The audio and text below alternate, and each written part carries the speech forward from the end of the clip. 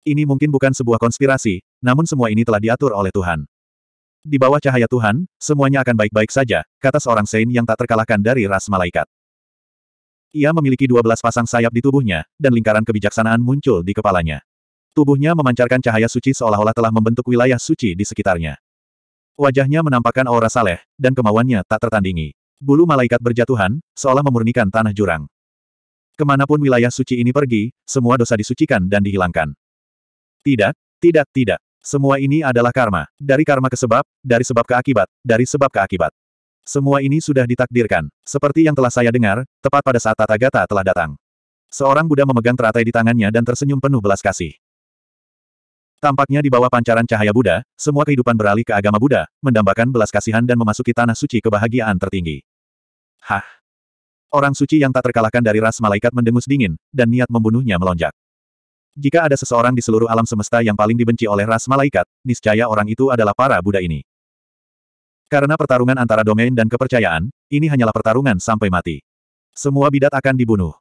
Dermawan, niat membunuhmu terlalu kuat. Mengapa kamu tidak masuk agama Buddha? Hanya dengan begitu kamu dapat menikmati kedamaian abadi. Letakkan pisau daging dan jadilah Buddha. Sang Buddha tersenyum dan membimbing dengan sabar, seolah-olah dia ingin malaikat ini masuk agama Buddha. Mencari kematian.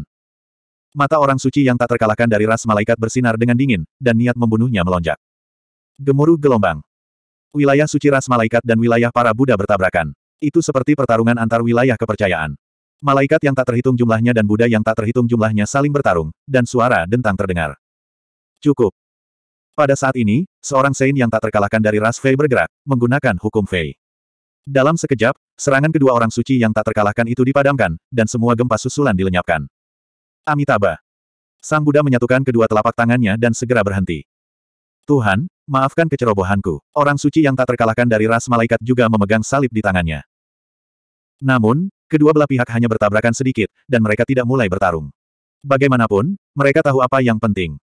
Tidak masalah ada konspirasi atau tidak. Yang penting rencana kita berhasil atau tidak. Pada saat ini, Demon Saint yang tak terkalahkan menyipitkan matanya. Sejujurnya, biarkan orang suci Laut Utara dari umat manusia yang menangani masalah ini. Dia masih anak-anak. Bukankah sedikit berisiko membiarkan dia bertanggung jawab atas masalah sepenting itu?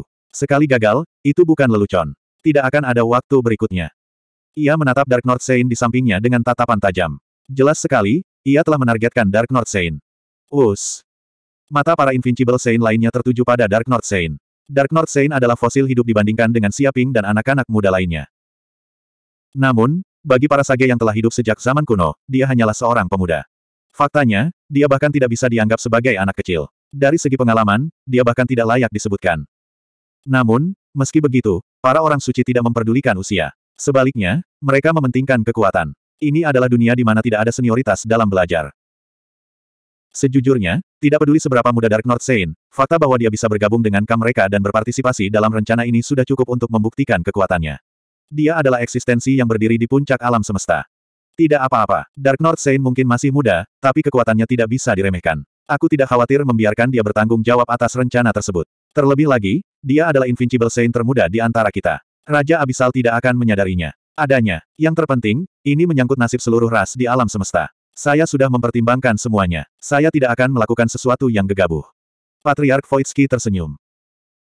Menarik, sepertinya kekuatan anak ini tidak sederhana, dia benar-benar menerima pujian seperti itu darimu. Patriark Voitsky, aku ingin tahu kartu truf macam apa yang dia miliki. Orang suci serangga yang tak terkalahkan terkekeh. Matanya menembus kehampaan seolah dia ingin membedah rahasia Dark North Saint.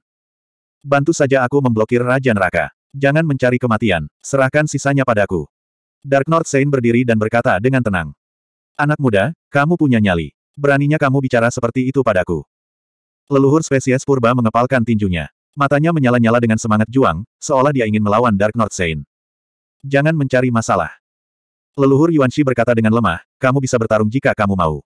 Raja neraka ada di sini. Mereka tidak ramah seperti kita manusia. Jika kamu kalah, kamu benar-benar akan mati.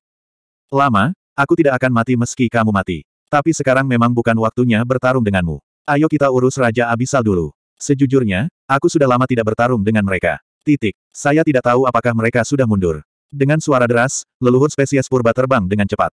Lakukan. Kata guru leluhur Xiao Yao dengan suara yang dalam. Astaga, astaga. Saat dia mengatakan itu, sage alam tak terkalahkan dan master leluhur yang tak terhitung jumlahnya dari ras-ras besar di alam semesta modern terbang keluar dari gerbang surgawi selatan tanpa mengatakan apa pun dan tersebar ke mana-mana. Gemuruh gelombang-gelombang-gelombang. Dalam sekejap, kekosongan itu meledak. Ini adalah pertarungan antar demigod. Dalam sekejap, hukum kekosongan benar-benar hancur, dan ledakan mengerikan terjadi. Segala sesuatu di segala arah diledakkan. Bajingan terkutuk di dunia modern. Beraninya kamu datang ke jurang neraka. Mati. Bunuh mereka. Jangan biarkan satupun dari mereka lolos. Karena mereka berani sampai ke ujung jurang maut, mereka harus bersiap mati di sini. Bajingan bodoh di dunia modern, jika aku tidak membunuhmu hari ini, aku akan bunuh diri atas nama abis. Raja neraka meraung, sangat marah. Sulit membayangkan betapa marahnya mereka saat ini. Mereka menggunakan semua teknik abisal mereka dengan sekuat tenaga. Tuan leluhur, saya pergi. Melihat hal ini, Biksu Dark North menangkupkan tangannya ke arah Master Leluhur Xiao Yao dan Master Leluhur manusia lainnya. Yah, hati-hati. Jangan biarkan Raja Abisal lain menemukanmu. Kami hanya bisa bertahan selama satu jam. Jika Anda tidak dapat kembali, Anda harus tetap di sini. Tuan leluhur Xiao Yao mengangguk. Cukup. Dengan suara mendesing, sosok Dark North Sage melintas dan menghilang dari kehampaan seolah-olah dia belum pernah ke sana sejak awal. Tidak ada Raja Neraka yang menyadari bahwa Sage alam tak terkalahkan telah menghilang. Oke, sudah waktunya aku menggerakkan ototku. Tuan leluhur Xiao Yao mengepalkan tinjunya, dan tulang-tulangnya bergerak seolah beresonansi dengan hukum kehampaan.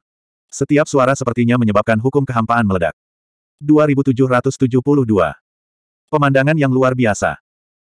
Pada saat ini, Siaping, yang bersembunyi di jurang terlarang, juga bisa merasakan apa yang terjadi di luar melalui kekuatan akal ilahi. Dia bisa melihat apa yang terjadi di gerbang surgawi selatan. Tentu saja, dia tidak begitu jelas tentang detail spesifiknya, tapi itu cukup untuk mengetahui situasi umumnya. Jelas sekali, para sage yang tak terkalahkan dari berbagai ras telah bergabung dan membuat rencana ini hari ini. Mereka melancarkan serangan ke dunia abis, dan pada saat yang sama, mereka membuat dunia abis lengah. Pada saat ini, langit di atas benua abis dipenuhi oleh para sage yang tak terkalahkan, dan mereka bertarung sampai mati satu sama lain. Benar, aku ingin tahu apakah Raja Iblis ini akan bergerak. Siaping menyipitkan matanya dan menatap lelaki tua di bawah pohon misterius di depannya. Sejujurnya, jika lelaki tua itu tidak meninggalkan tempat ini, akan sulit baginya untuk merebut sisa pecahan artefak dewa. Namun, meski hal sebesar itu telah terjadi, lelaki tua misterius itu masih duduk bersila di atas pohon, beristirahat dengan mata tertutup, seolah tak peduli sama sekali dengan apa yang baru saja terjadi. Suara mendesing. Pada saat ini, ada riak di kehampaan, seolah-olah pintu kehampaan telah terbuka. Segera, sesosok tubuh keluar dari pintu kosong dan datang tepat di depan lelaki tua misterius itu. Apa, itu tuan? Murid Siaping berkontraksi. Dia bisa melihat bahwa sosok yang tiba-tiba muncul di jurang terlarang adalah Dark North Saint. Dia sepertinya sangat familiar dengan jalannya dan langsung sampai ke jurang terlarang. Segera, dia sangat bersemangat, dan dia lebih menahan aura dan fluktuasinya, jangan sampai tuannya dan lelaki tua misterius itu menyadarinya. Dark North Saint muncul di hadapan lelaki tua itu. Dia mengerutkan kening dan melihat ke arah pohon hitam di depannya, jelas menunjukkan rasa takut. Namun, dia dengan cepat menahan emosinya, memandang lelaki tua itu, dan berkata, Tuan. Ledakan. Hanya dengan dua kata ini, lelaki tua berjubah hitam, yang sedang beristirahat dengan mata tertutup, tiba-tiba membuka matanya. Auranya segera berubah drastis, seolah seluruh benua abis terguncang hebat.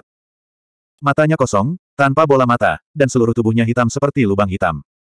Tidak ada cahaya yang bisa dipantulkan dari matanya, seolah-olah itu adalah sarang iblis yang melahap kegelapan tak berujung. Sekilas saja akan membuat seseorang merasa seolah jiwanya sedang dilahap. Sangat menakutkan. Menguasai. Sudah lama.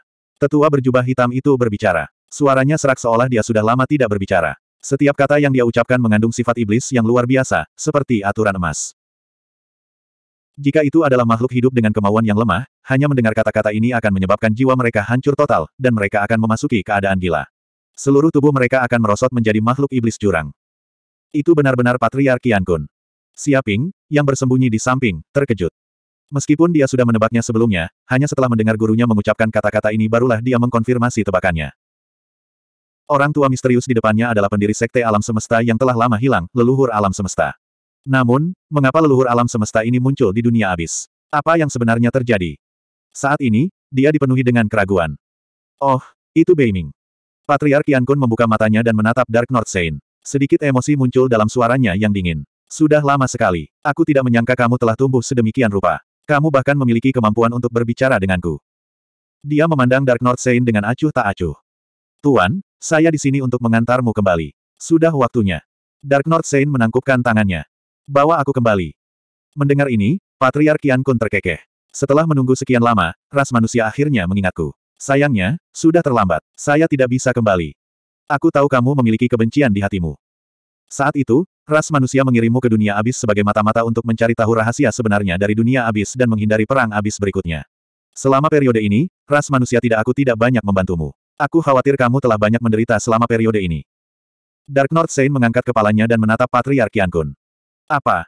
Siaping kaget saat mendengar kata-kata ini. Meskipun dia tahu pasti ada rahasia besar, dia tidak menyangka rahasia seperti itu akan begitu mengejutkan. Patriark Kun sebenarnya adalah mata-mata yang dikirim oleh ras manusia ke dunia abis. Namun, jika dipikir-pikir dengan hati-hati, itu normal. Iblis dari dunia abis dapat mengintai di alam semesta modern sebagai mata-mata, sehingga ras manusia secara alami dapat mengirim orang ke dunia abis sebagai mata-mata untuk mengetahui semua rahasia dan memantau setiap pergerakan abis. Masalahnya adalah dunia abis tidak cocok untuk ditinggali oleh ras manusia dalam waktu yang lama. Dia tidak tahu bagaimana Patriarki Kun bisa melakukan ini dan bersembunyi dari iblis abis. Lagi pula, tidak semua orang seperti dia, yang memiliki garis keturunan Dewa Iblis dan kebal terhadap erosi ki iblis curang. Iya, aku memasuki dunia abis karena pengaturan ras manusia. Mereka ingin aku masuk ke dunia abis sebagai mata-mata. Alasan mengapa mereka memintaku menjadi mata-mata adalah karena aku memiliki garis keturunan setengah manusia dan setengah iblis, jadi aku kebal terhadap erosi ki iblis curang. Oleh karena itu, aku menjadi kandidat terbaik untuk menyamar di dunia jurang neraka.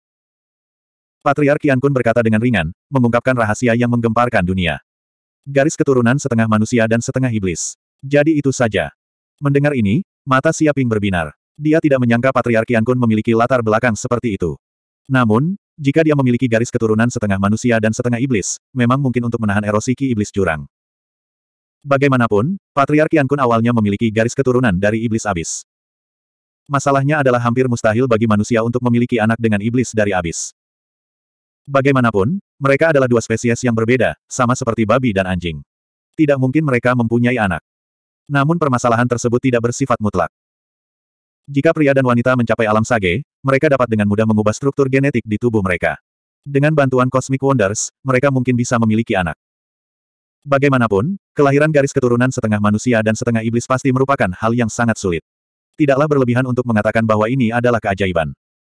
Kehidupan dengan garis keturunan seperti itu mungkin sangat langka di seluruh alam semesta. Jika hal ini benar-benar umum, hal itu pasti ada di mana-mana di jalanan. Namun hingga saat ini, Siaping jarang mendengarnya, hampir tidak pernah mendengarnya. Jelas sekali, garis keturunan seperti itu sangat rahasia bahkan di kalangan petinggi ras manusia. Hal itu tidak akan diketahui oleh para sage biasa, juga tidak akan mudah disebarkan. 2773 Mendengar narasi leluhur Qian Kun, Dark North Saint tidak berbicara. Padahal, sebelum datang ke dunia abis, dia sudah mendengar kabar dari leluhur manusia dan mengetahui seluk-beluknya. Meskipun saya tahu ini adalah pekerjaan yang sangat berbahaya dan mungkin tidak memberi imbalan, saya tetap setuju karena ini demi masa depan umat manusia. Saya tidak menyesal. Leluhur Kian Kun berkata, kemudian, saya memasuki abis dan mengalami kesulitan yang tak terhitung jumlahnya. Saya mendaki selangkah demi selangkah, menanyakan tentang rahasia dunia abis yang tak terhitung jumlahnya dan meneruskannya kembali. Awalnya saya mengira tugas itu hampir selesai. Sayangnya, puluhan ribu tahun telah berlalu, jutaan tahun telah berlalu, miliaran tahun telah berlalu, tahun-tahun yang tak terhitung jumlahnya telah berlalu, dan semua informasi yang telah berlalu telah hilang. Saya telah menjadi Raja Iblis dunia abis, tetapi Anda masih belum menutup jaringnya. Dia memandang Dark North Saint dengan acuh tak acuh. Siaping di sebelahnya. Sejujurnya, dia agak memahami leluhur Kian Kun. Sebagai mata-mata ras manusia, dia bekerja keras menjadi mata-mata di dunia abis untuk menyelesaikan tugasnya. Sayangnya, Semakin keras dia bekerja, semakin dia menyadari bahwa dia tidak dapat melarikan diri. Dia terlalu mampu dan mampu menaklukkan iblis yang tak terhitung jumlahnya, dan sekelompok raja neraka pun tunduk padanya. Untuk menyelamatkan nyawanya di dunia abis, leluhur Qian Kun secara alami menggunakan semua keahliannya dan berhasil melarikan diri. Tak disangka, pada akhirnya ia menjadi bos dunia abis, dan tugasnya belum selesai. Dia satu-satunya yang bisa menjadi mata-mata di levelnya. Pada saat ini, leluhur Qian Kun mungkin sudah menyerah untuk kembali ke dunia manusia dan menjadi manusia. Jadi, sekarang kita di sini. Dark North Saint berkata dengan suara yang dalam, sambil menatap tuannya, leluhur Qian Kun. Jadi, sudah terlambat. Leluhur Qian Kun memandang Dark North Saint dan menghela nafas. Tidak ada cara bagiku untuk kembali sekarang. Kamu adalah muridku saat itu, dan aku tidak akan membunuhmu demi hubungan di antara kita. Pergilah sekarang, jika kamu pergi sekarang, kamu masih memiliki kesempatan untuk bertahan hidup. Jika Anda menunggu saya mengambil tindakan, tidak ada dari Anda yang bisa meninggalkan dunia abis hidup-hidup. Niat membunuh yang samar keluar dari tubuhnya, hampir meliputi abis void ke segala arah, menembus setiap sudut kehampaan. Itu sungguh menakutkan. Bahkan Siaping, yang bersembunyi di kedalaman kehampaan, bisa merasakan niat membunuh yang mengerikan dari leluhur Qian Kun. Tampaknya mengandung jejak keilahian dan kekuatan tertinggi. Tuan, apakah kamu bukan leluhur Qian Kun lagi? Mungkinkah pikiranmu telah terkikis oleh pohon iblis neraka ini dan kamu telah dirasuki olehnya? Dark North Saint menyipitkan matanya dan menatap Patriark Qian Kun, seolah mencoba mencari tahu rahasia kekuatannya. Pada saat yang sama, dia memandang dengan ketakutan pada pohon abis yang misterius di belakangnya.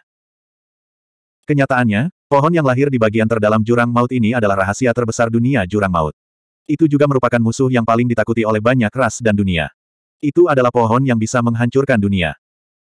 Di zaman purba, pohon ini pernah muncul sekali dan membunuh sejumlah besar sage yang tak terkalahkan. Namun pada saat itu, pohon iblis neraka masih dalam masa pertumbuhan, dan kekuatannya belum mencapai puncaknya. Tapi sekarang berbeda, ini telah sepenuhnya mencapai tahap dewasa. Ini adalah pohon iblis yang lahir dari kehendak jurang maut. Itu sangat menakutkan. Ia telah menyerap kekuatan 18 mayat dewa untuk tumbuh, dan ia juga menerima kekuatan jurang maut. Bisa dikatakan itu adalah senjata pamungkas jurang maut. Di era primordial, salah satu alasan mengapa semua ras di alam semesta tidak dapat memusnahkan iblis-iblis neraka adalah karena pohon iblis neraka.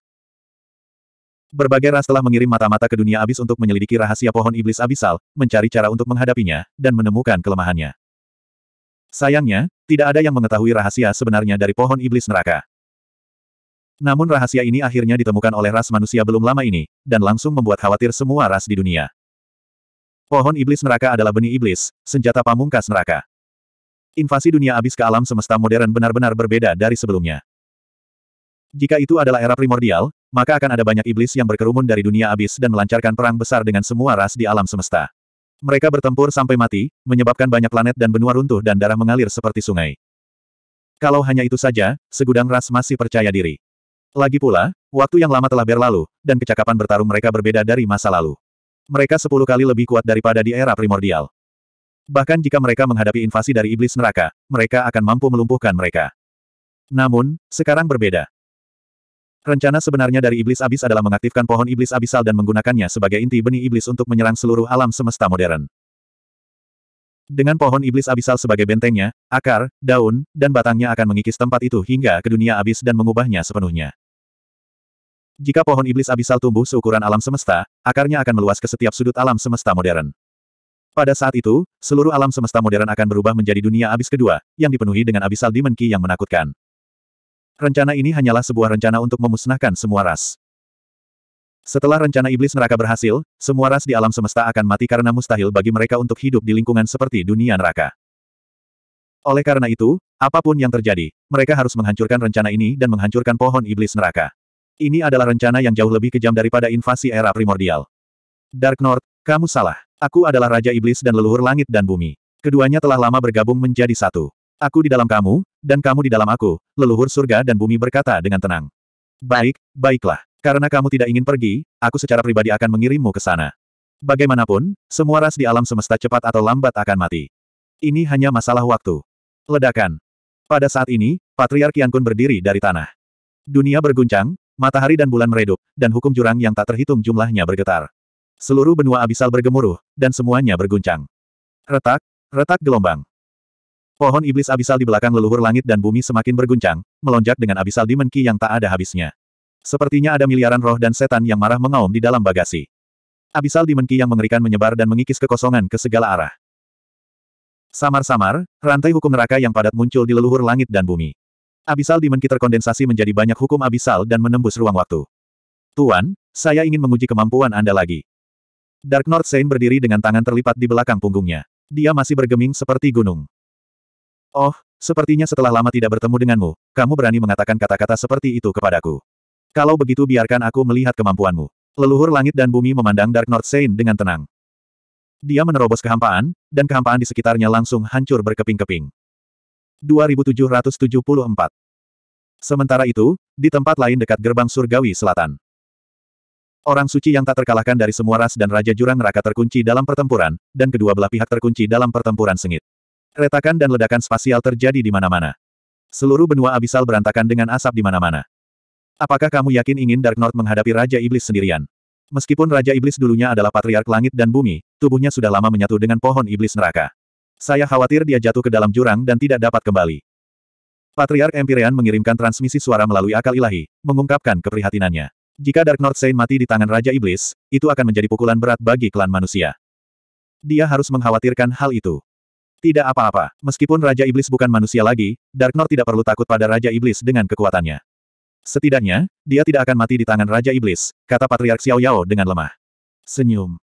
Apa maksudmu? Raja Iblis bukanlah sosok yang sederhana. Saya khawatir Raja Iblis adalah makhluk yang paling dekat dengan para dewa di seluruh alam semesta. Jika bukan karena pembatasan hukum alam semesta, dia pasti sudah menjadi dewa sejak lama. Dark North baru saja mencapai alam setengah dewa, bagaimana mungkin dia tidak takut pada Raja Iblis? Patriark Empire mengerutkan kening. Kamu tidak mengetahui hal ini. Patriark Xiao Yao berkata dengan lemah, Dark North menerima warisan dari dewa yang kuat dan mewarisi kekuatan dewa, pantang menyerah. Kekuatan ini sangat kuat. Selama pertempuran, tidak peduli seberapa kuat musuhnya, dia tidak akan mati. Tidak peduli seberapa parahnya lukanya, dia akan segera pulih. Itu sebabnya Dark North tidak bisa mati. Kekuatan, pantang menyerah. Sial, bukankah itu tidak terkalahkan? Siapa yang bisa membunuhnya? Meskipun Empyrean Patriark berpengalaman dan berpengetahuan luas, dia tidak bisa menahan diri untuk tidak mengutuk keras-keras. Dia tercengang. Tidak, tidak, tidak. Kekuatan ini tidak terkalahkan. Master leluhur Xiao Yao menggelengkan kepalanya dan berkata, meskipun lukanya terus sembuh selama pertempuran, luka itu tersembunyi dan akan meletus seketika setelah pertempuran. Jika lukanya terlalu serius, mereka akan tertidur sampai akhir dunia. Terlebih lagi, jika dia menghadapi lawan yang lebih kuat, dia hanya bisa menjamin bahwa dia tidak akan mati. Dia masih akan tertekan dan tidak mampu melawan. Jika lawan mahir dalam menyegel mantra, dia mungkin bisa menyegel Dark North sepenuhnya. Kekuatan ini memiliki keterbatasan dan kelemahan yang besar. Omong kosong. Mendengar itu, Patriark Kongkong tidak bisa menahan diri untuk tidak memutar matanya, kamu benar-benar mencoba mengambil keuntungan dariku. Kamu sudah sangat kuat, oke. Okay. Dalam pertarungan melawan seseorang dengan level yang sama, kamu praktis tak terkalahkan siapa yang cukup bodoh untuk melawan musuh yang jauh lebih kuat dari mereka. Selanjutnya, teknik penyegelan apa? Selama dia berhati-hati, bukankah dia bisa menghindarinya? Ini sama sekali bukan kelemahan, ini hanya cara menghadapi musuh. Haha, singkatnya, Beiming akan baik-baik saja. Jangan khawatir tentang itu. Guru leluhur Xiao Yao tersenyum. Dengan kemampuan seperti ini, tidak heran kamu setuju untuk membiarkan Dark North mengambil tindakan secara pribadi. Mendengar ini, Patriark Empyrean akhirnya memahami keputusan Patriark Xiao Yao. Awalnya, dia tidak setuju dengan rencana ini. Lagi pula, hal itu terlalu beresiko dan mungkin menyebabkan kematian manusia suci yang tiada tandingannya. Sejujurnya, ras puncak mana yang rela membiarkan kekuatan tempur ras mereka yang tak terkalahkan jatuh ke jurang maut. Sama sekali tidak ada manfaatnya. Namun, jika Dark North memiliki kemampuan seperti itu, ceritanya akan berbeda. Bagaimanapun, kita akan menyelesaikan misi kita, dan Dark North akan menyelesaikan misinya. Itu sudah cukup. Kata guru leluhur Xiao Yao dengan suara yang dalam. Itu hanya sepotong kue. Raja abis ini tidak akan bisa mengambil satu langkah pun dari sini. Master Iblis tidak akan mengirimkan bala bantuan apa pun. Cahaya dingin muncul di mata Patriark Empyrean. Di sisi lain, di tempat terlarang abis. Bang, bang, dalam sekejap, Dark North Saint dan leluhur langit dan bumi mulai bertarung. Kecepatan mereka sangat cepat sehingga indera ketuhanan pun tidak dapat mendeteksi kecepatan pertarungan mereka. Dengan tubuh mereka sebagai pusatnya, ruang dan waktu dalam jarak puluhan juta kilometer seakan terpelintir, dan segala sesuatu tampak dalam keadaan hening. Meski hanya satu detik telah berlalu di dunia luar, ribuan tahun telah berlalu di area pertempuran. Hampir dalam sekejap, tidak ada yang tahu berapa banyak gerakan yang telah mereka lakukan. Ini adalah pertarungan antara dua hukum, yang hampir mencapai batas seorang suci. Samar-samar, sepertinya ada dua sektor yang bertabrakan. Setiap kali mereka bertabrakan, kekuatan penghancur yang mengerikan meledak dan meraung, merobek kehampaan. Luar biasa. Siaping, yang bersembunyi di kegelapan, melebarkan matanya dan tidak bisa menahan diri untuk tidak berseru. Dia berpikir bahwa gurunya, Dark North Saint, yang baru saja memasuki alam tak terkalahkan belum lama ini, seharusnya lebih lemah daripada para Saint veteran yang tak terkalahkan ini. Namun, dia tidak menyangka kalau kekuatan Dark North Saint jauh melampaui imajinasinya. Dia tidak jauh lebih lemah daripada banyak orang suci veteran yang tak terkalahkan, dan pemahamannya tentang hukum bahkan lebih tinggi. Meskipun Dark North Saint tidak memiliki cukup pengalaman selama pertempuran, dengan bakat supernya, dia mencerna dan menyerap hukum dalam waktu singkat dan tampaknya meningkat dengan kecepatan yang terlihat dengan mata telanjang. Ledakan. Dalam sekejap mata, mereka bertabrakan lagi. Kemudian, mereka berpisah lagi dan saling berhadapan dari kejauhan. Pada saat itu, Patriark Yankun menyipitkan matanya dan menatap Dark North Saint. Menarik. Memang baru beberapa saat berlalu, namun basis kultivasimu telah meningkat sedemikian rupa. Jika aku tidak salah, kamu mungkin satu-satunya orang jenius yang mengerikan di seluruh ras manusia. Orang suci Dark North, orang suci Dark North. Jauh dari itu, ada banyak orang di klan manusia yang lebih kuat dariku. Kata Santo Dark North dengan enteng. Haha. Patriark Kun tidak menyangkalnya. Kecepatan kemajuanmu sangat luar biasa. Apakah kamu mendapatkan warisan dewa? Dia memandang Dark North Saint dan berkata dengan ragu-ragu. Ayo bertarung dan kamu akan tahu. Orang suci Dark North tidak bergeming. Huh, ini bukan tempat untuk bertarung. Ikutlah denganku ke tempat lain. Dengan keras, Patriark Kun melambaikan tangannya dan segera menggerakkan bintang-bintang dan membalikkan alam semesta. Kekosongan itu terselubung, dan dalam sekejap, dia dan Dark North Saint dipindahkan ke tempat lain untuk bertarung. Jelas, dia juga tahu bahwa jika dia benar-benar bertarung dengan serius, area terlarang di jurang maut akan hancur, dan itu mungkin melukai tubuh pohon iblis neraka. Kerugiannya lebih besar daripada keuntungannya. Yang terpenting, dia tidak bisa membangunkan hantu di area terlarang jurang maut. Jika tidak, dia akan menyentuh tabu di area terlarang, yang jauh lebih serius daripada serangan semua klan di dunia. Ledakan. Detik berikutnya, Patriark Yankun dan Dark North Saint menghilang dari tempat ini. Apakah mereka sudah pergi? Siaping, yang bersembunyi di dekatnya, merasakan sekeliling dan menemukan bahwa Patriark Yankun dan Dark North Saint telah berteleportasi ke suatu tempat yang jauh. Sepertinya mereka berada di ujung ruang dan waktu yang jauh. Singkatnya, medan perang antara kedua belah pihak telah lama berada jauh dari area terlarang jurang maut. Bahkan dengan kekuatan kesadaran ilahi, tidak ada cara baginya untuk mengetahui ke mana perginya keduanya. 2775. Apakah mereka benar-benar pergi? Siaping berkedip. Dia memindai area itu dengan rasa ilahinya puluhan kali, namun dia masih tidak bisa merasakan aura leluhur surga dan orang suci Laut Utara. Yang ada hanya pohon iblis neraka dan mayat suci di area terlarang. Selain itu, tidak ada yang lain. Ini adalah kesempatan bagus. Siaping menyentuh dagunya. Setelah leluhur langit dan bumi menghilang, bukankah tempat ini bebas untuk dia datangi? Terlebih lagi, di sinilah Raja Iblis berada. Siapa yang tahu berapa banyak hal baik yang tersisa di sini? Pohon iblis abisal tampak sangat menakutkan, memancarkan aura yang mengerikan. Namun menurut persepsinya, pohon iblis neraka sebenarnya tidak memiliki kecerdasan. Otaknya seharusnya adalah Raja Iblis. Sayangnya, Raja Iblis sudah meninggalkan tempat ini. Diperkirakan Raja Iblis tidak akan bisa kembali dalam waktu singkat. Tentu saja dia tetap harus berhati-hati. Jika pergerakannya terlalu besar, mungkin Raja Iblis akan menyerahkan pengorbanannya pada tingkat tertentu dan kembali. Mari kita coba melihat apakah saya bisa mendapatkan pecahan artefak ilahi terlebih dahulu.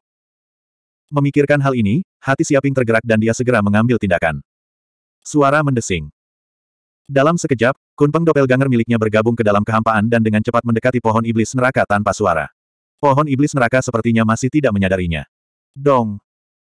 Detik berikutnya, Siaping mengambil pecahan artefak dewa dengan kecepatan kilat dan menempatkannya ke dalam space ring miliknya. Dia tidak menimbulkan gangguan sama sekali. Tampaknya pecahan artefak dewa itu tidak berarti apa-apa bagi pohon iblis neraka. Itu hanyalah batu biasa. Tampaknya ia tidak mempedulikannya sama sekali. Ngomong-ngomong, aku ingin tahu apakah mayat suci itu bisa dibawa pergi.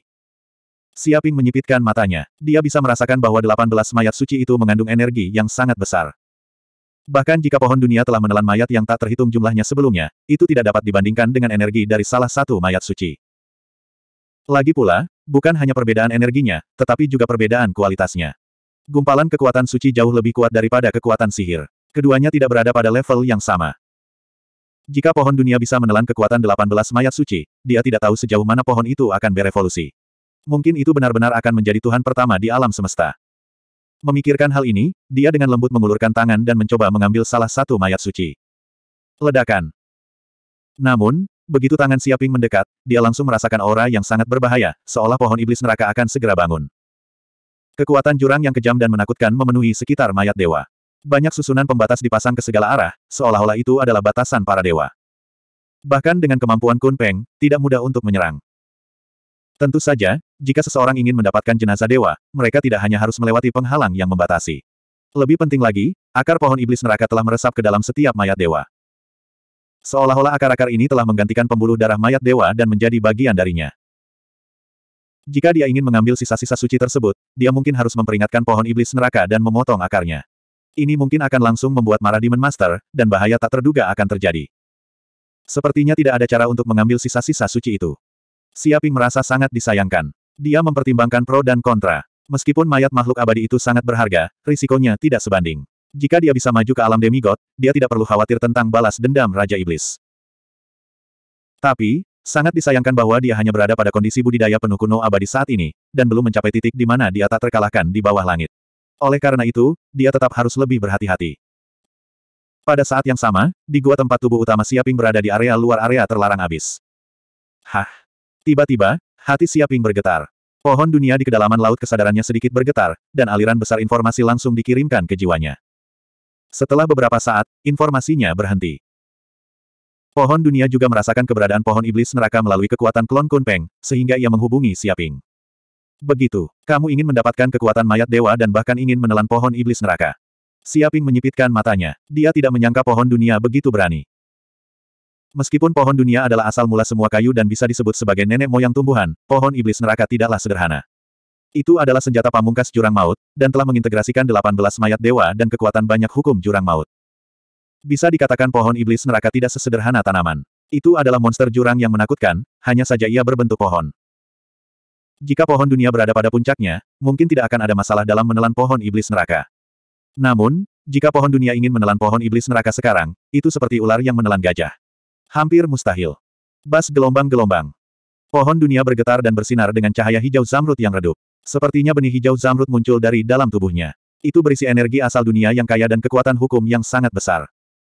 Ini benihmu, benih pohon dunia. Siaping menyipitkan matanya. Dia menemukan benih hijau zamrud telah jatuh ke tangannya. Benih ini mengandung sebagian besar energi asal pohon dunia. Untuk memadatkan benih ini, pohon dunia sepertinya telah menghabiskan banyak energi asal. Saat ini, pohon dunia sangat lemah. Jelas tidak mudah untuk memadatkan benih seperti itu. Itu harus membayar harga yang mahal. Bas gelombang-gelombang. Pohon dunia berguncang lagi dan mengirimkan pesan ke lautan kesadaran Siaping. Begitu, ini adalah benih parasit dari pohon dunia. Ini setara dengan klonmu. Jika benih parasit ini diintegrasikan ke dalam tubuh pohon iblis neraka, ia dapat secara diam-diam menjadi parasit pada pohon iblis neraka dan mengambil kesempatan untuk menelannya. Kekuatan pohon iblis neraka. Merasakan pesan ini, mata Siaping tiba-tiba berbinar. Jika ini benar-benar bisa dilakukan, pohon iblis neraka pasti akan mati. Itu pasti akan menjadi makanan pohon dunia dan bagian dari energinya. Tapi apakah kamu yakin ini dapat diandalkan? Itu tidak akan ditemukan oleh pohon iblis neraka, kan? Siaping bertanya dengan hati-hati. Bas gelombang-gelombang-gelombang. Pohon dunia berguncang lagi. Cabang-cabangnya bergoyang dengan percaya diri, menandakan bahwa benih parasit ini adalah tempat asalnya. Setelah diintegrasikan ke dalam pohon iblis neraka, pohon itu pasti tidak akan ditemukan. Bahkan para dewa pun tidak akan bisa menemukannya. Itu bagus. Ayo kita coba. Siaping menyentuh dagunya. Bagaimanapun, itu hanya percobaan. Kalaupun gagal, itu tidak akan menjadi masalah besar. Suara mendesing. Memikirkan hal ini, dia tidak ragu-ragu dan segera mengirimkan klon keduanya, klon pohon dunia. Dia mengambil benih parasit dan memasuki area dalam jurang terlarang. 2776. Tidak butuh waktu lama bagi klon pohon dunia Siaping untuk memasuki area terlarang di jurang maut. Karena dia pernah ke sini sebelumnya, dia sudah terbiasa mengemudi. Dia tahu tempat mana yang berbahaya dan mana yang tidak. Bahkan jika dia menghadapi bahaya, klon pohon dunia dapat dengan mudah menahannya dengan kekuatannya sendiri. Ia tidak dapat melakukan apa pun pada klon ini. Suara mendesing. Dalam sekejap mata, klon pohon dunia tiba di depan klon Kunpeng. Kedua klon itu saling memandang. Sekering. Dalam sekejap, klon pohon dunia dan klon Kunpeng menyatu. Ini adalah salah satu kemampuan klon setelah maju. Ketika keduanya menyatu, mereka akan memiliki kekuatan dan kekuatan sihir satu sama lain. Kekuatan mereka juga akan meningkat sebesar 30%. Jika sembilan klon bergabung, kekuatan mereka akan meningkat dengan kecepatan geometris. Itu tidak sesederhana satu tambah satu. Ini juga merupakan kekuatan teknik cloning ini. Kalau begitu mari kita lihat apakah benih parasit ini mempunyai efek. Siaping menyentuh dagunya dan mengeluarkan benih parasit yang diberikan pohon dunia kepadanya. Itu adalah benih hijau zamrud yang sepertinya mengandung misteri dan kekuatan pohon dunia yang tak terbatas. Samar-samar, benih hijau zamrud itu memancarkan gelombang kekuatan hukum asal. Tampaknya hal itu selaras dengan hukum kekosongan. Itu dipenuhi dengan aura yang tak terduga. Tampaknya meskipun pohon dunia yang asli mati, benih ini dapat menumbuhkan pohon dunia kedua. Suara mendesing. Dia melambaikan tangannya dan melemparkan benih parasit ke batang pohon iblis neraka. Pohon iblis abisal sepertinya tidak bereaksi apa pun. Ia tidak bisa merasakan suara terbangnya benih parasit sama sekali. Suara mendesing gelombang-gelombang. Di bawah tatapan Siaping, benih parasit tampak hidup ketika mendekati pohon iblis neraka.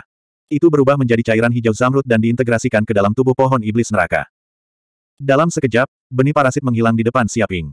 Menarik. Mata Siaping berbinar. Karena hubungan istimewanya dengan pohon dunia, dia dapat merasakan benih parasit dengan mudah menyatu ke bagian terdalam pohon iblis neraka. Cairan hijau zamrud terus menggeliat, mencoba menembus bagian terdalam dari pohon iblis neraka. Dia sepertinya melihat situasi di dalam pohon iblis neraka. Itu adalah bidang kehampaan yang sangat besar, seperti matahari hitam. Itu dipenuhi dengan energi iblis abis yang tak ada habisnya. Hanya dengan melihatnya saja sepertinya kekuatan abis akan terkorosi. Hampir mustahil untuk menolaknya. Rantai hukum neraka yang tak terhitung jumlahnya muncul di dalam bola hitam besar ini, seolah-olah berisi 3000 hukum neraka. Rantai hukum abisal yang tak terhitung jumlahnya saling terkait satu sama lain, membentuk batas abisal yang sangat besar. Tanpa diragukan lagi, ini adalah inti dari pohon iblis neraka. Hanya melihat kekuatan pohon abisal demon, Siaping. Mata Siaping membelalak takjub. Hanya dengan melihat inti asal pohon iblis neraka, dia mengerti mengapa pohon iblis neraka begitu menakutkan. Inti ini seperti penggabungan dunia yang tak terhitung jumlahnya, dan mengandung kekuatan esensi jurang yang sangat besar. Bahkan kekuatan esensi neraka teratai hijau tidak dapat menandinginya. Perbedaannya lebih dari seratus kali lebih besar dari kekuatan inti neraka teratai hijau. Terlebih lagi, energi asal ini tumbuh dengan kecepatan yang sangat pesat, seolah-olah terus-menerus melahap energi dari berbagai dunia. Ini hanyalah pohon iblis yang menjadi parasit di tubuh utama abis. Melalui persepsi ini, dia juga bisa merasakan akar yang tak terhitung jumlahnya dari pohon iblis yang berakar kuat di setiap sudut dunia abis, hampir meluas hingga ke ujung abis. Setiap kekosongan di dunia abis memiliki akar dari pohon iblis abisal, seolah-olah urat kehampaan di dunia abis dibentuk oleh akar dari pohon iblis abisal. Jika pohon iblis neraka ini dihancurkan, maka seluruh dunia neraka akan rusak parah. Namun, mustahil untuk menghancurkan pohon iblis dengan dunia abis sebagai fondasinya. Itu setara dengan pertarungan fana melawan seluruh alam semesta. Kita harus tahu bahwa luasnya dunia abis tidak kalah dengan luasnya alam semesta modern. Keduanya adalah sisi terang dan gelap. Menarik pohon iblis neraka ini mirip dengan pohon dunia. Siaping menyipitkan matanya. Dia bisa merasakan bahwa prinsip pohon iblis neraka dan pohon dunia hampir sama. Pohon dunia juga menggunakan energi alam semesta sebagai fondasinya, memperluas akarnya ke setiap sudut alam semesta. Setelah mencapai puncaknya, pada saat itu, pohon dunia akan menjadi alam semesta, dan alam semesta akan menjadi pohon dunia. Satu-satunya perbedaan adalah pohon iblis neraka lahir dari dunia neraka. Alam semesta yang dikuasainya hanya cocok untuk kelangsungan hidup makhluk abisal. Sulit bagi makhluk lain untuk bertahan hidup. Namun, pohon dunia berbeda. Alam semesta tempatnya berada sangat cocok untuk kelangsungan hidup di alam semesta modern. Itu bergerak. Pada saat ini, Siaping bisa merasakan kegembiraan tulus dari benih parasit. Seolah-olah ia telah bertemu dengan mangsa yang lebih unggul, ia mempercepat tindakannya. Gemuruh gelombang-gelombang. Dalam sekejap, benih parasit diam-diam mendekati inti pohon iblis neraka. Seolah ditarik, ia langsung terintegrasi ke dalam inti. Benih parasit segera berakar dan mulai menetap di intinya. Akar pada pohon dunia tumbuh, tampaknya meluas ke sebagian inti. Seiring berjalannya waktu, akar benih parasit mungkin mampu menutupi setiap bagian inti pohon iblis neraka. Luar biasa. Siaping mengedipkan matanya. Dia telah melihat kekuatan pohon dunia. Itu memang pohon iblis yang bahkan lebih menakutkan daripada pohon iblis neraka. Benih ini bisa disebut benih iblis sejati. Apalagi benih parasit ini tidak hanya bisa menjadi parasit pada tanaman. Faktanya, ia dapat dengan mudah menjadi parasit pada kehidupan apa pun, bahkan tubuh dewa, dan menyerap energi dewa. Ini adalah bagian yang menakutkan dari benih parasit. Bahkan ketika ia sedang melakukan parasitisasi, secara diam-diam ia menghasilkan akar pohon dunia yang lebat. Setiap akar transparan dan mudah diintegrasikan ke dalam setiap sudut kehidupan. Pada saat yang sama, kehidupan tidak akan menemukan kelainan apa pun. Perlahan-lahan menggantikan setiap pembuluh darah dalam kehidupan. Pada saat pihak lain menemukannya, semuanya sudah terlambat, dan mereka sudah lama menjadi parasit. Namun, benih parasit seperti itu tidak dapat dipadatkan begitu saja. Setiap kali terkondensasi, ia akan menghabiskan sebagian besar energi asal pohon dunia, dan butuh waktu lama untuk pulih. Oleh karena itu, jika itu bukan makhluk yang sangat berharga, pohon dunia tidak akan mau menggunakan metode ini untuk menghadapinya. Jelas sekali, pohon dunia telah merasakan bahwa pohon iblis neraka memiliki nilai yang sedemikian besar sehingga layak untuk dibayar dengan harga yang sangat mahal. Terlebih lagi, setelah pohon dunia melahap pohon iblis neraka, ia tidak tahu akan tumbuh di alam mana. 2777 Namun, Siaping dengan cepat mengesampingkan masalah benih parasit karena dia tidak tahu berapa lama waktu yang dibutuhkan agar benih parasit tersebut berlaku. Itu hanya bisa dikatakan sebagai gerakan biasa yang hanya akan berpengaruh pada saat kritis. Kini, dia hanya bisa menunggu benih parasit perlahan berkembang dan berbuah. Benar, aku ingin tahu harta apa yang ada di istana itu. Itu adalah tempat di mana Raja Iblis tinggal, pasti ada beberapa harta karun. Siaping memandangi istana di belakang pohon iblis neraka. Sejujurnya, dia sangat penasaran dengan istana misterius ini sejak awal. Dia merasa mungkin ada harta karun di dalamnya, tetapi dengan Raja Iblis yang menjaganya, dia tidak bisa pergi ke sana. Namun, sekarang berbeda. Raja Iblis ditahan oleh tuannya, Dark North Saint. Ini adalah kesempatan terbaik. Jika dia melewatkan kesempatan ini, dia tidak tahu kapan dia harus menunggu. Terlebih lagi, dia datang ke area terlarang abis dengan susah payah, jadi dia tidak bisa kembali dengan tangan kosong. Suara mendesing. Dalam sekejap, sosok Siaping melintas, dan dia menggunakan kekuatan sihir Kun Peng untuk terbang menuju istana tanpa suara. Dia tiba di depan istana dalam sekejap. Menarik, tidak ada formasi yang membatasi. Siaping berkedip. Dia awalnya mengira istana ini akan memiliki formasi pembatas yang kuat. Bagaimanapun, ini adalah istana tempat tinggal Raja Iblis. Bisa dibayangkan pertahanan di dalamnya. Namun, dia salah. Mungkin karena ini adalah istana Raja Iblis, dan Raja Iblis akan menjaga tempat ini setiap saat. Dia akan menjadi pertahanan terkuat, dan tidak ada pencuri yang bisa mendekat. Yang terpenting, tempat ini adalah kawasan terlarang abis yang terkenal. Iblis abis biasa tidak akan bisa mendekat. Adapun berbagai ras di dunia modern, mereka tidak bisa datang ke tempat ini di ujung dunia abis.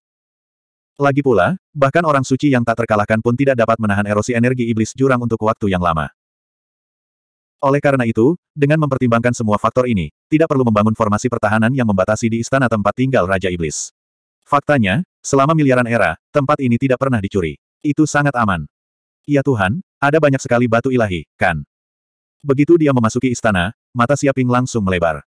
Dia merasakan jantungnya bergetar, karena di depannya ada gunung kecil batu ilahi, memancarkan kekuatan ilahi yang kuat. Seolah-olah hanya dengan menarik napas di tempat ini dapat meningkatkan kultivasi seseorang selama ribuan tahun. Orang hanya bisa membayangkan berapa banyak batu dewa yang tersembunyi di tempat ini.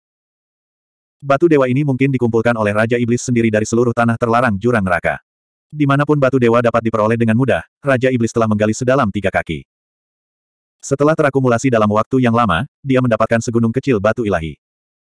Haha, aku kaya, aku kaya. Aku benar-benar kaya kali ini. Dengan banyaknya batu dewa, aku bisa menggunakannya sesukaku. Korin juga merasakan adegan ini melalui akal ilahi Siaping, dan langsung tertawa, dia sangat bersemangat. Sebelumnya, di wilayah terluar jurang terlarang, hanya beberapa lusin batu suci saja sudah cukup untuk membunuh sekelompok iblis primordial Fiendis. Tapi sekarang, di istana ini, ada begitu banyak batu ilahi. Rasanya seperti mimpi. Jika ada begitu banyak batu suci yang dilepaskan ke dunia luar, siapa yang tahu berapa banyak biksu yang akan tergila-gila padanya? Tidak menjadi masalah bagi mereka untuk memulai perang yang menghancurkan bumi. Begitu banyak batu dewa, setidaknya ada 70 hingga 80 juta. Green Ox juga tidak bisa menahan gemetar untuk sementara waktu. Ini jelas merupakan kekayaan yang menggemparkan dunia. Kekayaan yang diperoleh sebelumnya mungkin tidak sebanding dengan harta yang diperoleh sekarang. Ini juga sesuatu yang tidak bisa ditolong. Bagaimanapun juga, dunia abis masih sangat kaya, apalagi mereka juga memiliki peninggalan yang terbentuk dari kejatuhan dewa. Harta yang diperoleh bahkan lebih banyak lagi, dan masing-masingnya tak ternilai harganya. Semuanya milikku. Siaping melambaikan tangannya, dan dalam sekejap, batu dewa ini dimasukkan begitu saja ke dalam cincin luar angkasa miliknya.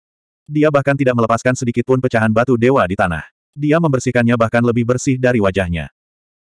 Lihat, pecahan artefak ilahi, begitu banyak pecahan artefak ilahi, setidaknya puluhan ribu keping. Sial, berapa banyak barang baik yang dijarah Raja Iblis ini di tanah terlarang ini. Tanah terlarang habis telah dikosongkan oleh orang ini. Itu terlalu korup. Saya tidak tahu berapa banyak darah dan keringat orang yang dia makan. Cepat dan bawa pergi untuk menghilangkan kejahatan bagi orang-orang. Korin berteriak keras. Itu benar. Kau benar. Merampas semuanya. Bajingan seperti ini yang menjarah kekayaan rakyat benar-benar keji. Kami menegakkan keadilan atas nama surga, merampok orang kaya untuk membantu orang miskin. Aku yakin iblis neraka biasa itu akan melakukannya. Pasti sangat berterima kasih kepada kami. Kami telah menyingkirkan momok besar bagi abis. Sapi hijau juga merasakan hal yang sama dan mengangguk berulang kali. Dia tertekan. Dia tidak menyangka Raja Iblis menjadi orang seperti itu. Sejujurnya, saat ini, dia merasa sedikit tertekan terhadap iblis di dunia abis. Bagaimana mungkin mereka tidak beruntung memiliki bos seperti itu? Dia hanya tahu cara merampas darah dan keringat rakyat sepanjang hari. Memang benar, uang itu seperti pisau pemotong tulang. Saya tidak tahu berapa banyak pemuda ambisius yang telah dirusak olehnya. Saya khawatir leluhur Kian Kun jatuh karena ini. Saya harus membantunya menghadapi hal jahat seperti itu. Siaping juga mengangguk. Dia tidak ceroboh saat mengambil tindakan. Bukankah begitu? Pantas saja dia tinggal di sini sepanjang hari dan tidak pergi. Orang ini kikir, tinggal di sini untuk menjaga harta karun. Korin juga merasakan hal yang sama. Hehe, aku bertanya-tanya kenapa lelaki tua ini begitu baik hati membiarkan begitu banyak iblis kuno memasuki area terlarang abis untuk berlatih dan membiarkan mereka menjarah harta karun sesuka hati. Ternyata yang besar telah dibawa pergi oleh ini kawan, dan sisanya adalah sisa makanan yang tidak dia pedulikan. Green Ox membenci kekikiran Raja Iblis. Dia hanya tahu bagaimana menggunakan keuntungan kecil untuk menggertak orang. Dia tidak memiliki kemurahan hati apa pun. Hualala gelombang-gelombang-gelombang. Siaping melambaikan tangannya, dan semua pecahan artefak ilahi di tempat ini dijarah olehnya. Bahkan residu di tanah pun tidak luput. Itu semua adalah hal baik yang terkontaminasi dengan kekuatan suci, jadi dia tidak bisa melepaskannya. Selain itu, Meskipun pecahan artefak ilahi ini tidak dapat digabungkan menjadi artefak ilahi lengkap yang baru, materialnya sangat berharga dan sangat langka di alam semesta. Mengambil sepuluh ribu langkah mundur, bahkan jika pecahan artefak ilahi ini tidak dapat disempurnakan menjadi senjata ajaib lainnya, mereka dapat dimakan oleh lendir emas sebagai bahan untuk senjata ajaib lainnya. Dia tidak tahu sejauh mana Xiao Jin akan berevolusi setelah memakan pecahan artefak dewa, tapi dia berpendapat bahwa tidak akan menjadi masalah baginya untuk menjadi lendir emas terkuat sejak zaman kuno. Lagi pula, dari zaman kuno hingga sekarang, tidak ada Golden Slime yang bisa memakan pecahan artefak dewa sampai kenyang. Bahkan para Saint yang tak terkalahkan pun tidak begitu boros atau boros. Tuan, lihat, ada banyak istana di dalamnya. Itu semua adalah darah dan keringat rakyat yang telah digelapkan oleh orang itu. Itu semua adalah bahan langka yang dia rampas dari seluruh abis. Serahkan semuanya, jangan sopan dengan dia. Sapi hijau berteriak keras. Dia sepertinya menyadari ada lebih banyak harta karun yang tersembunyi di dalamnya. 2779. Suara mendesing. Sosok Siaping melintas dan segera sampai di istana lain. Dia membuka pintu istana dan melihat lebih dekat. Lampu warna-warni menyala di dalam. Itu sangat mempesona sehingga dia bahkan tidak bisa membuka matanya. Ya Tuhan, ada begitu banyak harta karun. Mata sapi hijau itu membelalak. Lihat benda apa ini? Besi iblis petir mistik, tembaga iblis merah langit, baja iblis pola bintang, perak iblis laut dalam. Berapa banyak harta yang dijarah orang ini di dunia neraka? Mengapa dia mengambil semua barang bagus itu? Ia segera mengenali asal-muasal banyak material yang disembunyikan di istana. Yang disebut Mystic Lightning di Iron adalah biji yang lahir dari tambang di abis. Itu berisi kekuatan asal petir yang kuat dan diukir dengan pola hukum petir yang padat. Pada saat yang sama, itu juga terkikis oleh kekuatan sihir abis, menyebabkannya memiliki sifat iblis yang menakutkan. Jika besi setan petir mistik ini digunakan untuk menempa artefak, itu pasti akan menjadi artefak bijak yang tiada taranya. Itu juga berisi kekuatan asal hukum petir dan kekuatan sihir jurang. Ada juga tembaga setan merah langit. Itu juga merupakan biji langka di abis dan terkenal di dunia abis. Ia sangat pandai dalam menyalurkan kekuatan sihir dan hampir tidak mengalami kerugian. Jika tembaga iblis merah langit ini digunakan untuk menempa artefak, ia dapat menampilkan kekuatan tempur seorang sage 100% tanpa kehilangan kekuatan sihir. Itu juga bisa kompatibel dengan setiap sage. Baja setan pola bintang juga sangat menakjubkan. Itu ditempa dari batu pola bintang dunia abis yang terkenal. Orang harus tahu bahwa batu pola bintang adalah biji inti sebuah bintang. Hanya satu dari miliaran bintang yang dapat melahirkan biji semacam itu. Isinya sejumlah besar baja setan pola bintang. Seratus baja setan pola bintang tersebut dapat ditempa menjadi satu bagian baja setan pola bintang. Bisa dibayangkan betapa berharganya baja setan pola bintang ini. Itu adalah bahan terbaik untuk menempa artefak tipe bintang. Ada juga perak setan laut dalam. Ini adalah biji khusus yang lahir dari laut tak terbatas di dunia abis yang disebut Laut Iblis Abisal. Laut Iblis Neraka juga merupakan zona bahaya yang terkenal di neraka. Dikatakan bahwa monster jurang yang tak terhitung jumlahnya hidup di laut itu. Masing-masing dari mereka sangat kuat. Itu adalah salah satu tempat paling berbahaya di abis. Itu sama terkenalnya dengan tanah terlarang jurang neraka. Dan perak iblis laut dalam lahir dari tempat itu. Tentu saja, alasan mengapa mereka perlu menambang biji tersebut dari laut iblis neraka dan mengambil risiko sebesar itu sangatlah berharga. Perak setan laut dalam memiliki nilai seperti itu. Jika perak ajaib laut dalam dipasang pada ujung senjata, seperti ujung pedang atau pedang, itu dapat secara instan meningkatkan ketajaman senjata tersebut lebih dari 10 kali lipat. Itu memiliki efek menembus armor yang kuat, dan harta sihir pertahanan tingkat sage biasa mungkin bisa dipotong menjadi besi tua dengan satu tebasan. Yang paling penting, perak ajaib laut dalam ini sangat korosif dan beracun. Itu adalah jenis merkuri yang berasal dari abisal dimensi. Terlepas dari apakah itu iblis dari abis atau makhluk hidup di alam semesta modern, bahkan jika mereka telah mencapai tingkat sage dan memiliki tubuh abadi, mereka tidak akan mampu menahan racun semacam ini. Dalam waktu kurang dari tiga hari, sage yang terluka akan diracuni hingga mati. Oleh karena itu, perak ajaib laut dalam merupakan sumber daya strategis yang sangat penting di jurang neraka. Di era primordial, banyak sage di alam semesta modern yang mati karena racun perak iblis laut dalam. Ini memang hal yang bagus. Mata Siaping berbinar saat melihat biji ini. Tanpa berkata apa-apa, dia segera melambaikan tangannya dan mengumpulkan semua biji khusus dari abis ke dalam space ring miliknya. Dia bahkan tidak berencana meninggalkan beberapa pecahan biji di tempat ini. Tuan, masih banyak ramuan dari abis. Cepat ambil, jangan sia-siakan. Melihat Raja Iblis bukanlah seseorang yang meminum ramuan sepanjang hari, mari dengan enggan membantunya mengatasinya. Azure Ox berteriak. Kamu bahkan tidak melepaskan ramuan dari dunia abis, bukankah itu terlalu berlebihan? Ramuan ini cocok untuk iblis dari abis. Mereka tidak berguna untuk berbagai ras di alam semesta modern. Memakannya tidak akan terjadi. Tidak ada manfaatnya, malah berakibat fatal. Untuk apa kamu menginginkan hal-hal yang tidak berguna ini? Korin berkata dengan nada meremehkan dia bisa melihat bahwa masing-masing ramuan itu mengandung kekuatan sihir jurang yang sangat besar. Jika makhluk hidup biasa memakannya, mereka mungkin akan langsung kehilangan akal sehatnya dan berubah menjadi makhluk hidup jurang.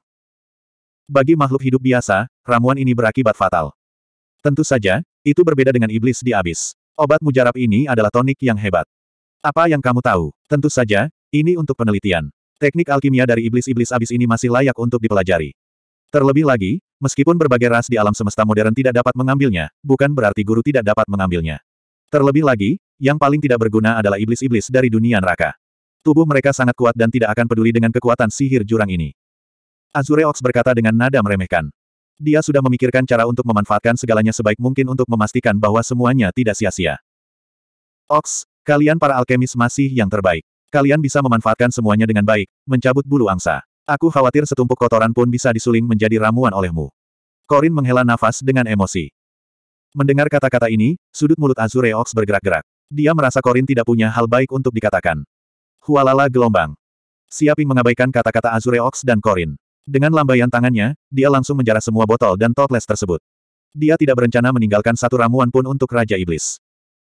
Karena meskipun dia tidak mengambil ramuan ini dari Abis, dia masih bisa memberikannya kepada Iblis Neraka. Wow, Tuan, lihat, ada harta ajaib di sini, begitu banyak harta ajaib. Ya Tuhan, berapa banyak harta ajaib jurang yang disembunyikan orang ini? Apakah dia ingin memberontak? Sapi hijau itu berteriak.